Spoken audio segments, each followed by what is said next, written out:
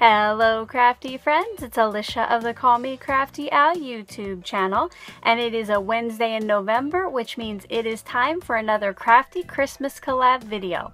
I hope you'll stick around and see what I made this week.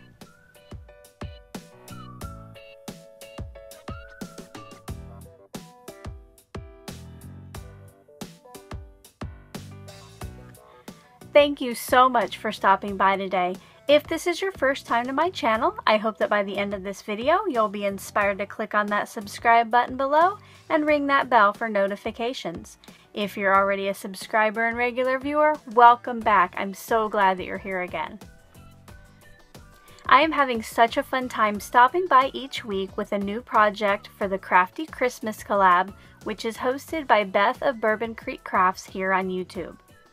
Each Wednesday in November, all of the collaborators are stopping by either their YouTube channel or their Instagram account and sharing another creation using the same paper pad or pack for the whole month. Once you're done with my video today, I hope that you'll go visit all of the other collaborators. They're all linked in the description box below. See what they made and leave them some love.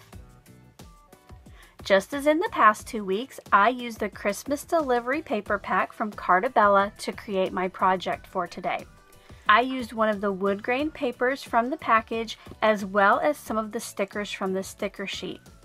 Another item that you'll see I used was a 5x7 plastic photo frame and I just got mine at the Dollar Tree.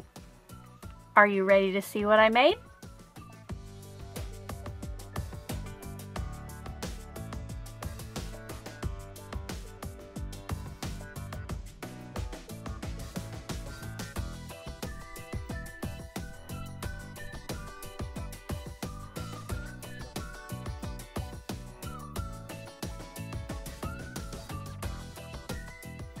My project today is kind of like a desk command center.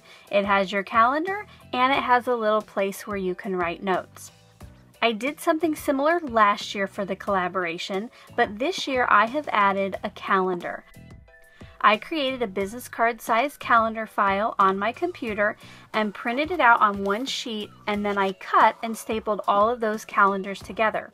So when you move on in the year, you just tear off the calendar. Now, a great thing you could do with this is give it as a gift and have different 5x7s so it's seasonal. Because if you're in July, you wouldn't want Tis the Season to be jolly and a Christmas wreath on your desk. But you could give it to them with a package of maybe five or six different 5x7 pieces for the background and maybe a couple extra post-it notepads in case they run out. I did get the 5x7 photo frame where the stand is on the longer edge. That way it can sit like this. If you can only find the ones where it would sit like this on the short edge, you could always do the calendar on top and the post-it note on the bottom.